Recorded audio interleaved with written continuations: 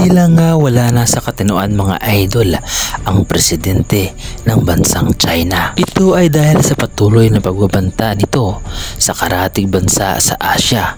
Nakabilang nga dito mga idol ang ating bansang Pilipinas at ganoon din ang bansang Taiwan. Nakamakailan nga lamang mga idol ay tila ba nagpapatrolya ang hukbo o sandatang panghimpapawid ng China. At dahil nga mga idol sa agresibong galawan ng China na ito ay nagbabala ang NATO sa bansang China na maging maingat sa bawat galaw. Ngunit tila ba bali wala lamang sa presidente ng bansang China ang sinasabi o babala ng NATO. At dahil nga mga idol sa kasakiman ng bansang China ay hinimok pa nito ang presidente o ang bansang Russia na makiayon o makianib sa adikain na agawin ang West Philippine Sea. Bagay naman na pinahintulutan ito ng presidente ng Russia kung sa bagay mga idol ay pareho namang sakim ang dalawang bansang ito kaya naman bagay silang magsama. Ngunit bakit kaya mga idol tila ba walang puso ang dalawang bansang ito pagdating sa mga mamamayan ng ibang bansa na kahit na hindi maganda ang kanilang ginagawa ay patuloy pa rin sila sa pag-angkin at pang-aabuso sa mga bansang namumuhay ng mapayapa at ang nais ay katahimikan. At isa lamang mga idol ang nakikita kong dahilan kung bakit ang mga bansang ito ay patuloy sa paggawa ng masama at patuloy na panghihimasok sa ibang bansa at patuloy na paghamon ng kaguluhan. At ang dahilan mga idol ay hindi totoo ang kanilang Panginoon at ang kanilang Diyos na sinasamba ay hindi ang totoong Diyos na siyang lumikha at may-ari ng buong mundo.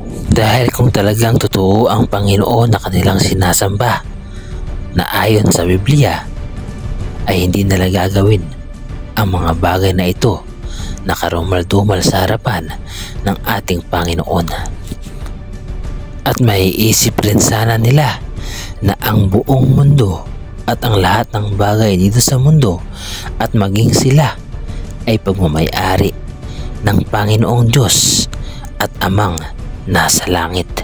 Dahil mababasa natin mga idol sa banal na kasulatan sa Psalms 24 verse 1, ang lupa ay sa Panginoon at ang buong narito, ang sanglibutan at silang nagsisitahan dito. Kaya naman mga idol malinaw na malinaw na ang bansang Russia, bansang China o kung sino mang bansa dito sa mundo o sa daigdig ay walang pagmamayari ni katiting ni anumang bagay na mayroon dito sa mundo ay wala silang pagmamayari kundi ang lahat ay tanging sa Panginoon na siyang lumikha at ang lahat ng bagay na ito ay tanging ipinapahiram lamang sa ating lahat.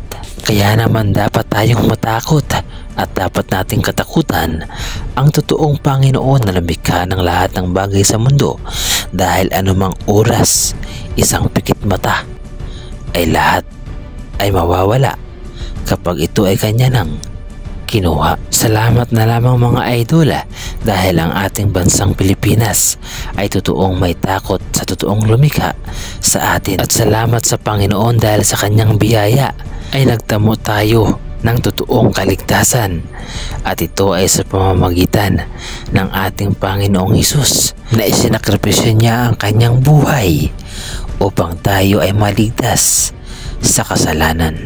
Kaya naman huwag nating katakutan mga idol ang ginagawa sa atin ng bansang China dahil ang Panginoon ang kanilang kalaban. Ikaw idol, ano ang masasabi mo sa reaction video na ito? Ikaw ba ay naniniwala na ang Panginoong Hesus ang siyang tagapagligtas? I-comment mo naman ang iyong reaksyon at opinion sa ibaba sa ating comment section.